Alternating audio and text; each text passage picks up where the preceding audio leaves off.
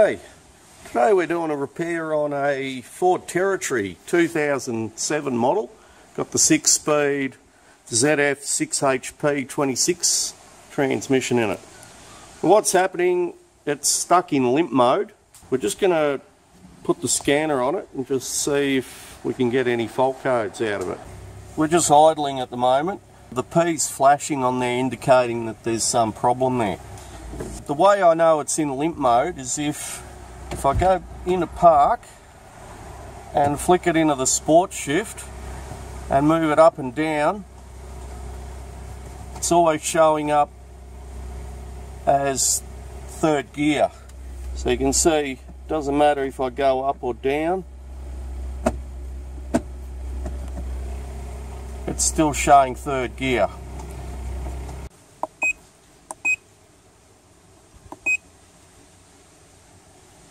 and we've got a PO 973 shift solenoid A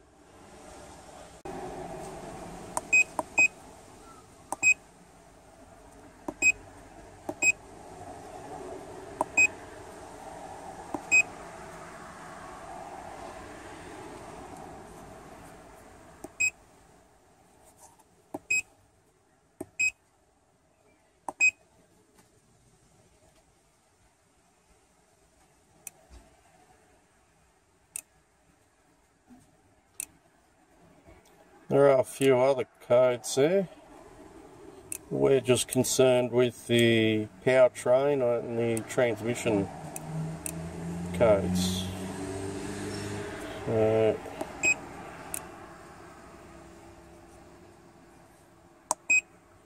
we've got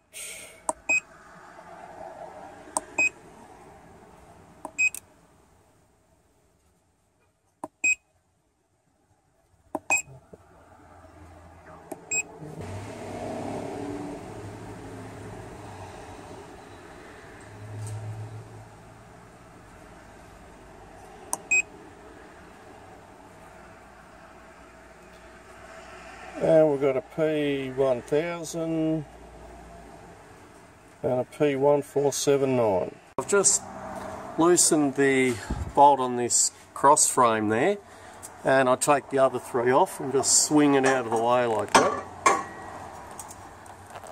And I've drained the oil. It's a 10mm Allen key. Just let the oil drain out. And I've taken all the bolts off except for two on the pan. They're T40 Torx. So the code we're getting is solenoid A, which is this one here. But what we're going to do is we're going to do a complete change of all the solenoids on it. So to get the valve body off, first we need to take out the little mechatronic plug there, or the connector plug. So we just flip that up, you just slide that up slowly like that, and it just pops out. And then there's a little fork that locates that plug, just so it doesn't wiggle around. And what you do is you just press this little button here, and it slides down. And that fork comes out of that plug. And then hopefully you've cleaned around that plug before you take it out and then you can just wriggle it out and there we go just comes out quite easily. Worth replacing that connector sleeve as well. And now we're just going to take off all the T40 Torx bolts and that valve body will just come down. And you can see I've left two bolts one bolt either side of the valve body and that that's just ready to come out now. I've got the valve body off and I've already noticed there's a problem there. If you have a look here, there's what's called a bridge seal. And that's actually, the rubber's actually come out and it's on top of the valve body. We're going to also replace all these little sealing tubes. Is there stuck on there. It either fell out or was a little bit stuck there. So I'll just drain this out a little bit and then we can take this mechatronic unit out. And here we have the ATRA bulletin on the 6HP26 and the 6R60. There's the clutch application chart. And if you have a look on, there's the location for the air pressure tests for those clutches. That little bridge seal comes here. And you've got those little tube seals, four little tube seals that come through there. And here are the solenoid application chart for the same transmission and you've got the identification of the numbers there which solenoid corresponds to which clutch one that we've got the code for is the A solenoid which is applied in first, second, third and fourth if you note there but I'd suspect that some of the other ones are faulty as well. So the owners opted, instead of bench testing all the solenoids, we're going to replace the whole lot. Got a, a genuine ZF uh, solenoid set here for the same unit. Um, I haven't really tried the aftermarket ones, but I've heard that they can give you trouble, so that's why we try and stick to the genuine ZF. And you can see that the different colours there will match the different solenoids there on the valve body. And there's also a little instruction sheet there for you if you need it. Got to get the mechatronic unit off. It's already we've already taken off these three bolts. And the other bolts that we need to remove are these two here. One two. These two here where the selector is. One two. And two more these two. So two four and six six bolts we need to remove. And then we can take that mechatronic unit and replace these solenoids there's a warning on these that if you hit them with a bit of static can damage the mechatronics on it. So what you have is these little wristbands where you clip it to the to the valve body what, that you're working on. Uh, we don't actually use it very often. Um, our bench is actually equipped for it, but just be aware that static will damage the mechatronic unit. And there you go show you again which bolts. One, two, three, four, five, six. Flip the valve body over, you can actually see the location of where those bolts are anyway. So it'll, it'll give you an indication where they are if you can't make out from what I've just shown you.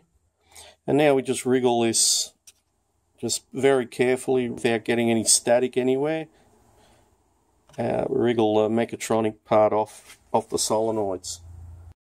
If the mechatronics haven't been off for a while, you, it'll be stuck on these two pins. So you can, we have this little bent screwdriver and we just lever it up slowly and evenly. Um, it's got to come off evenly off those two pins and off the solenoids. And there it is. So now use the, the same Torx T27 to get this little bracket off so you can get the solenoids out. It's also a good idea to just make a note of uh, what colour goes where or you can take a photo with, of it on your phone. Always a good idea to make little videos when you're working on things that you're unfamiliar with.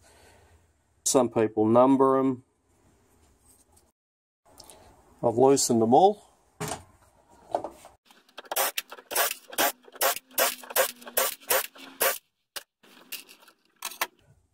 And then they just wriggle out like so. There we go. These O-rings also flatten out or harden. You lose pressure in there as well. And these solenoids, if, if you were going to test them, uh, you actually have to test them with uh, vacuum instead of pressure. So I'll just pop all those out. A little bit tight.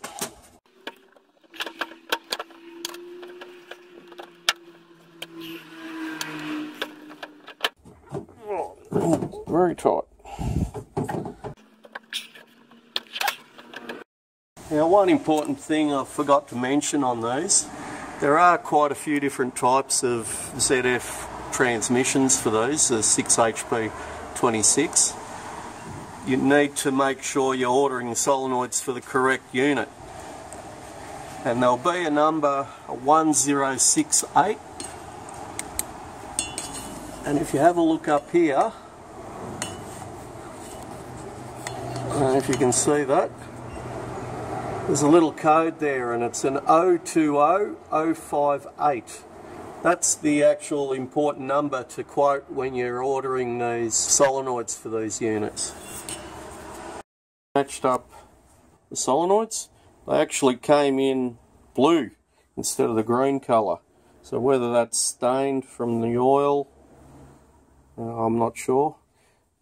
But anyway, just make sure you order the right ones for this particular transmission. And you can see those little contacts. You need to mesh them up with this. Just make a visual inspection, make sure they're not oxidized or corroded or bent out of shape. So I'm just going to push all these in. They have to be 90 degrees to the valve body so you can get all these back in. And what I also like to do before before you tighten the solenoids up with the little bracket is put that mechatronic unit back on um, just to make sure these are uh, meshed in properly and then you can tighten all these up. In.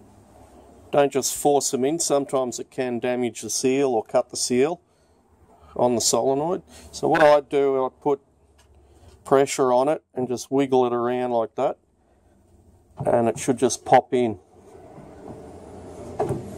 Sometimes you might need to rotate a little bit. And there we go. All these are in. I'm going to put the mechatronic unit back on. I'll put this uh, plate on just loose and then we can uh, tighten it up after. You can see that they, they're able to swivel around a little bit. You want to ideally get the contact as as good as you can on the on those little terminals. Don't forget to line up your little selector shaft there as well.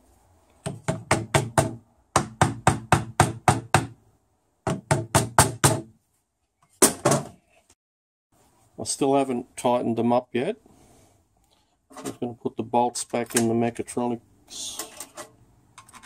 Yeah.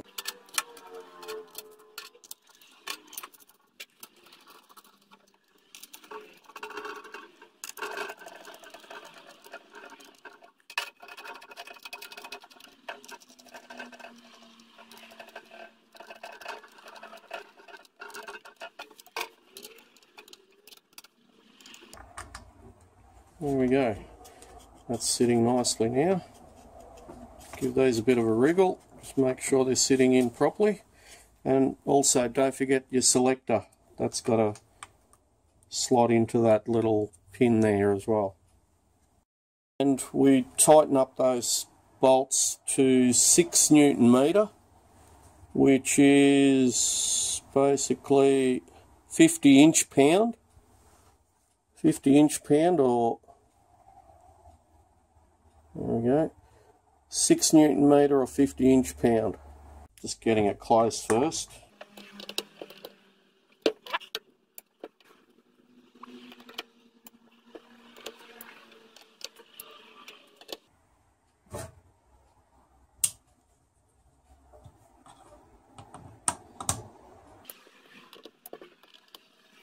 Okay, now we can tighten these up and they tighten up to 6 newton meter or 50 inch pound as well.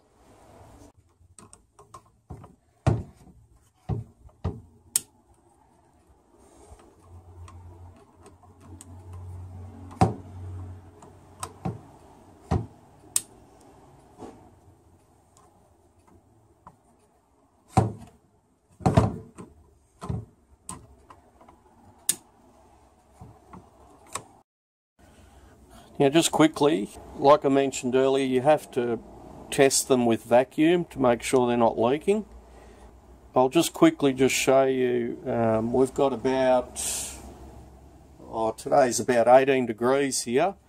So five, five ohms resistance on these and 10 in 10 ohms resistance at roughly 20 degrees Celsius. So, like I said, we're a little bit under that here today at room temperature. And I'm just going to run through. This one here is the Shift A solenoid or Shift A clutch solenoid. So we know that one is faulty from our scanner. So I'll just check all the other ones and just see what we're getting out of them anyway.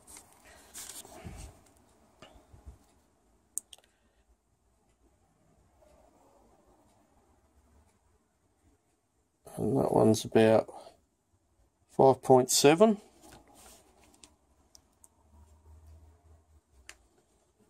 this one should be about 10 10.8 yep.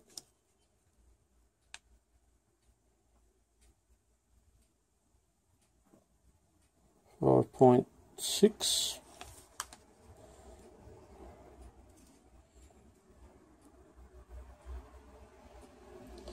1.6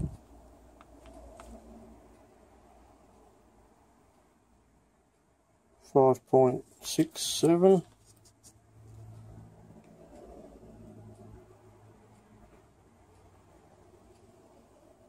Five point six seven and the faulty one. There we go we've got nothing there.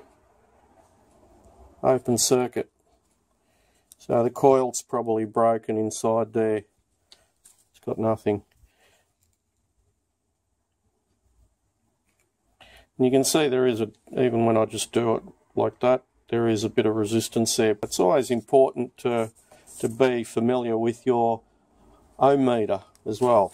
So even though they're a little bit higher than these ones don't look too bad, just che checking the resistance, to test them properly, you need to actually heat them up or warm them up to make sure they don't short out under heat. But this one's definitely open circuit or faulty. And because they are all, well, they're all working at the same rate, that's why it's probably a better idea while we're doing all this work to just replace the whole lot instead of just that one. But if you were doing that, you could just replace this one here and get away with it a bit cheaper. I'm going to replace this bridge seal and that just pops out like that. You can see the other seals stuck on there as well. And these tube seals here, you can just tap a bolt or a screw in there and just pull them out. Well, there's the old bridge seal. You can see what the new one looks like. And the sleeves, you notice one is 31.5 mil. One's 40 mil.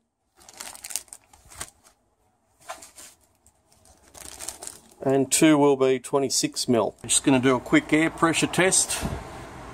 Uh, we've got the A clutch over here. You can hear that's applying well. Next to that's the E clutch. Same thing. We got the B clutch.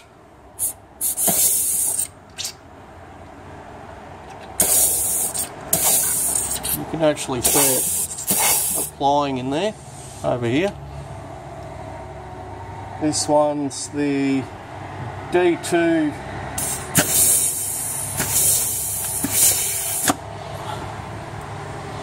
and that one's a release so you won't hear anything. And the speed clutch. I've got the seals out tube seals. And you can see this one's flattened out what's that 38.96 or so 39 mil. And it should be 40 mil. And this other one should be 31.5. We got 29.9 or say 30 mil. And the final two should be 26 mil. I got 24.66. So what that tells us is that when the valve body's bolted down, there's no pressure there on that rubber. Also, the rubber's hardened a little bit. Good idea to replace these if you want to avoid having uh, pressure leak there between the, the valve body and the case. The bridge seal, you can see how raised those rubbers are. 29.37 mil. 18.5 it's like 2 mil. They flattened out by about 2 mil on that smaller hole.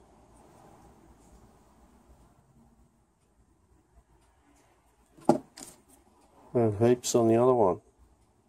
3 mil. Longest one. That one there. Short one short one.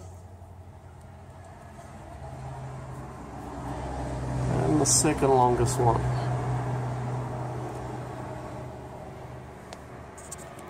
You can see how much they're sticking out there.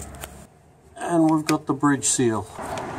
There we go, when that's bolted up, that'll seal beautifully. Whole body up, make sure you align it with this little selector linkage as well.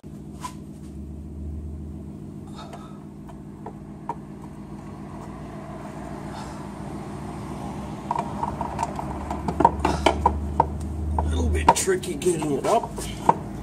You got to align this up as well. Yep, on the selector.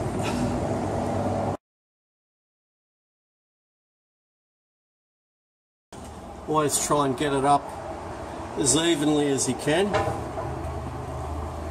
and we're going to tension these up to 8 newton metre and 8 newton metre is about 70 inch pound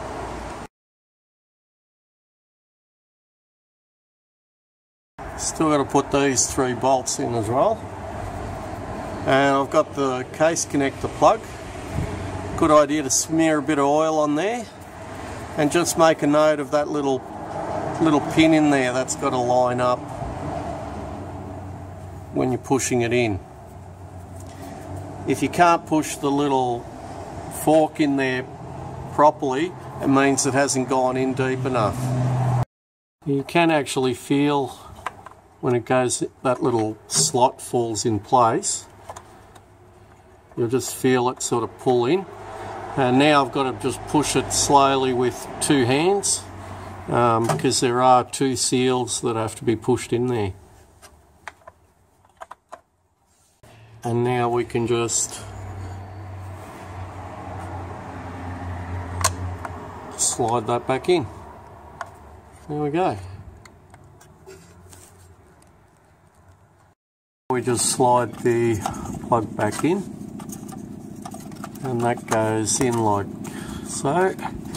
You need to have a little bit of pressure on there as you wind it down. And it'll just pull it pull itself back in. And you'll feel a little click at the bottom.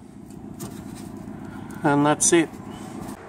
Check that nothing's gone inside that tube when you get it off double check that the o-rings on there as well and this just pushes back up straight in there Good idea to put a little bit of oil on that seal.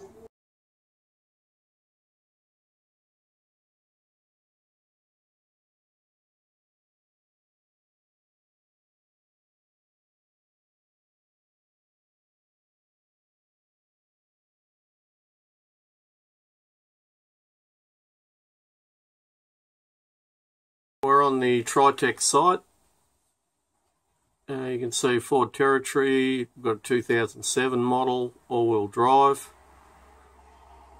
and automatic transmission The preferred one is the ATF synthetic low viscosity or you can also use the ATF Multitrans full synthetic fluid.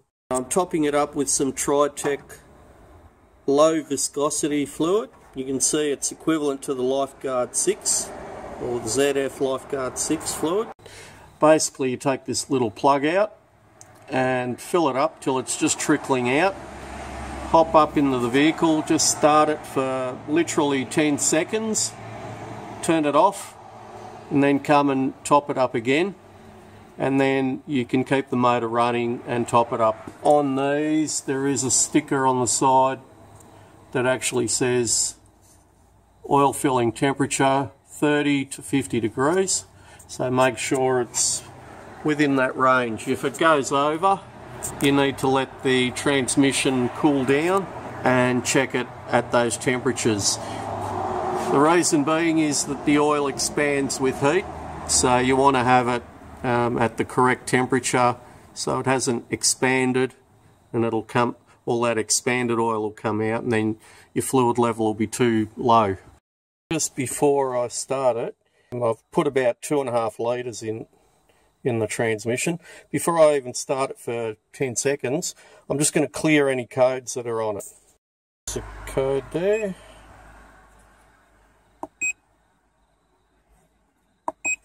Just make sure it's still the same one. Haven't started the car, so shift solenoid A. Erase codes. Yes. Done. And I'll also do it. Check it on the other one. Yes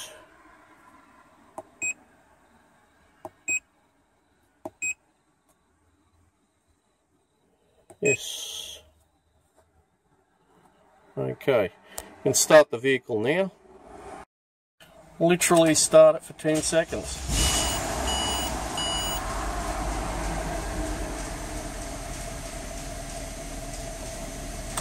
Okay, we can top it up now. You can see the, the park on the dash wasn't flashing either.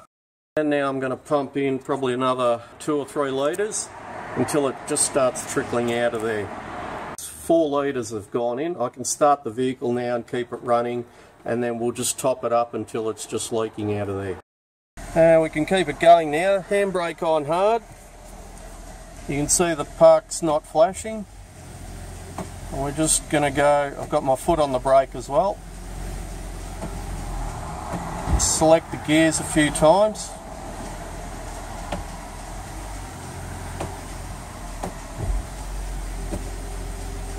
Over to the sport shift and you can see we've got first gear and that's looking good already. Back in the park and we can go down and check the oil level. Okay, and it's just coming out. Just started dribbling, and we're on about 37 degrees, which is ideal. Uh, we can just put the plug back in. You can see that's just streaming down slightly.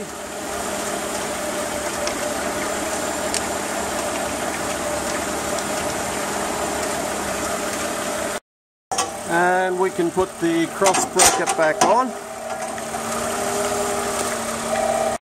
There we go, back from test run. Everything's changing okay. Uh, the little P's not flashing anymore. You can see. No limp mode anymore. The shifts are a little bit funny, but over probably the next 100 kilometres, the, well, the computer will relearn all the parameters, the electrical parameters, and that'll improve over the next 100 Ks. Anyway, I hope that's helped. Thank you for watching.